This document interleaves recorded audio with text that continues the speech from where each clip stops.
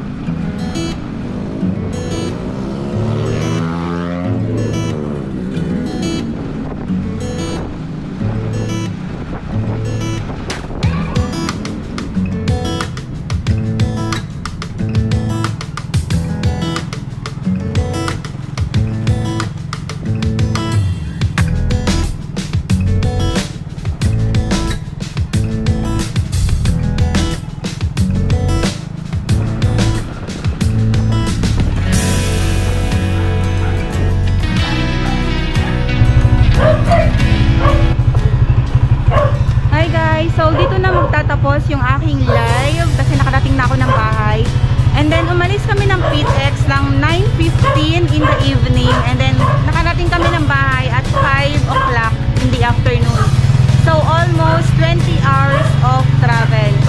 And then yung maganda kasi sa probinsya, no, yung view ng bundok. Yan, yung view ng bundok doon. So, yung view ng bundok kasi is very visible. Tsaka yung hangin, syempre sa province, ay fresh. So,